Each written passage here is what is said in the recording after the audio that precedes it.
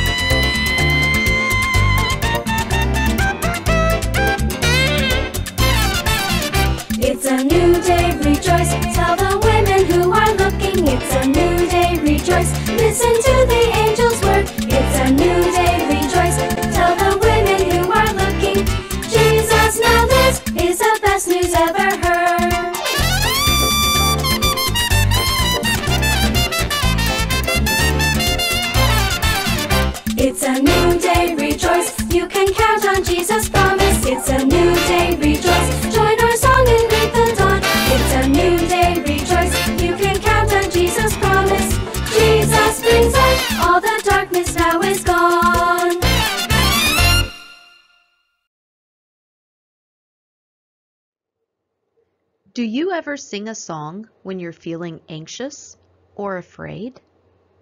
What songs do you sing when you're afraid? Do you ever sing Jesus Loves Me? Even in difficult times, God's Word and His promises give us a peace that's much better than any kind of peace we can get on our own. Sometimes we call that the peace that passes all understanding. Prisons in Bible times were used to hold prisoners before they went to trial, not as a form of punishment. When someone was arrested and went to prison, they were chained both at the hand and at the foot in their cells. That would make it hard to move, wouldn't it? The jailer usually, usually lived in the same building as the prison. Prison cells were on the lower level, while the jailer and his family lived on the upper level. Prisoners depended on friends and family to bring food since meals were not provided by the jail. Luke wrote the book of Acts. He was with Paul, Silas, and Timothy on this mission trip. Let's learn more about what happens.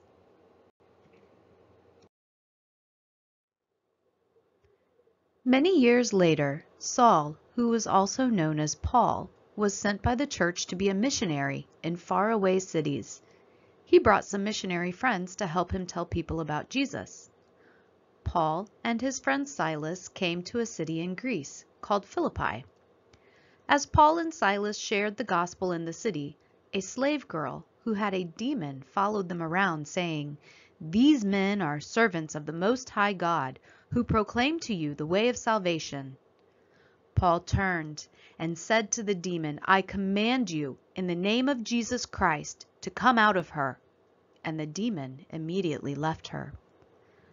The people who owned the slave girl were mad. When she had the demon, they had earned a lot of money from others who wanted her to tell their future. Now, with the demon gone, they couldn't make money from her. They grabbed Paul and Silas and dragged them before the judges. The judges ordered that they be beaten with rods and put in prison for the night. But Paul and Silas didn't sit around feeling sorry for themselves. Around midnight, they were praying and singing in their prison cell, and all the other prisoners were listening. Suddenly, a strong earthquake struck, and all the prison doors opened up and the chains fell off of every prisoner. The jailer woke up and got really scared. He saw the jail doors standing open and thought all the prisoners had escaped. Since he thought that he had failed to keep them in jail, he pulled out his sword to kill himself. But Paul shouted that he should not hurt himself because all the prisoners were still there. The jailer asked for a torch and ran inside to see. He fell down in front of Paul and Silas and asked, what he had to do to be saved. Paul told him, Believe in the Lord Jesus, and you will be saved, you and your household. Then Paul and Silas told the jailer, his family, and his servants all about Jesus. They baptized his whole household. The next day, the judges sent the police to the jail to let Paul and Silas go. Paul told them that he and Silas had been wrongly beaten and thrown in jail even though they were Roman citizens. He wanted an apology. The judges were afraid because they had thrown a Roman citizen in jail when they shouldn't have. They came and apologized to Paul and Silas and asked them to leave. Paul and Silas stopped to visit their friend Lydia and to encourage the other Christians there. And then they went on their way. Let's learn more about the ancient city of Philippi. It's located in Greece. It was a busy commercial city on the route along the coast going to Rome. It didn't have very many Jews, and it didn't have a synagogue. Across the known world from Israel, the average person living in Jerusalem would never have gone to Philippi. That means it was a big deal that they sent Paul there. This was a Roman colony where many Roman soldiers lived after they left the military, so being a Roman citizen was a pretty big deal there. It was the leading city of its day and a pretty nice place to live.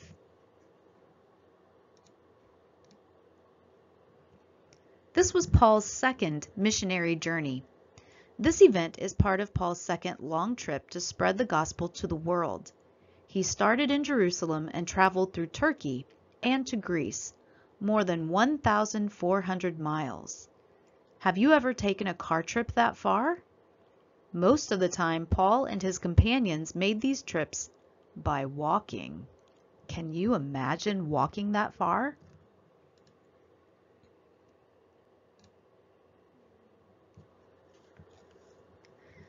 The jailer and his family most likely lived above the jail. The rules said that if your prisoner escaped, then your punishment was death. Because Paul, Silas, and the other prisoners didn't leave the prison, they saved the jailer's life. By telling the jailer about Jesus and baptizing him, Paul saved the jailer's eternal life.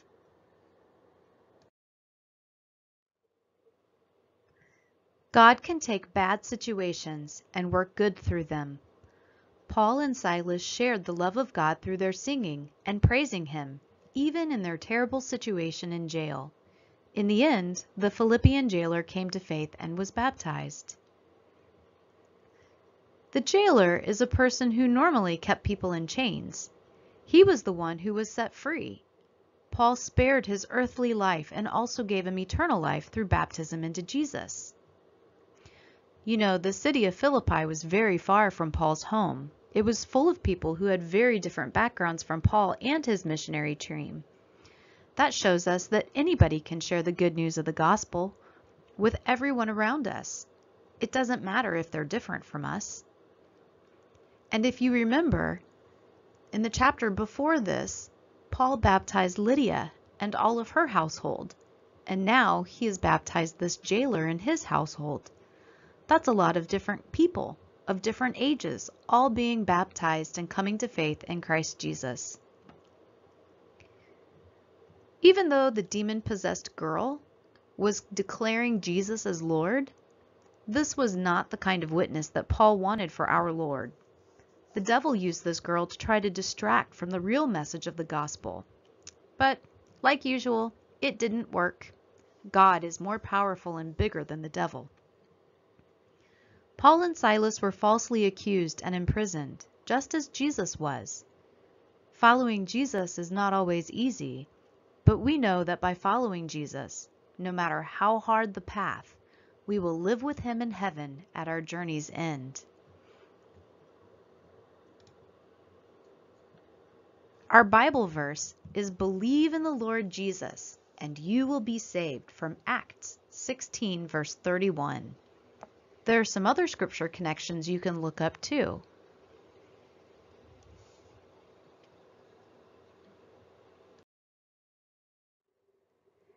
Take a piece of paper and draw these circles on there. In the top circle, draw a picture or write a few words that tell why the jailer in Philippi was afraid. In the other circles, you can draw pictures or write a few words to describe things people your age are afraid of. Are there things that you fear?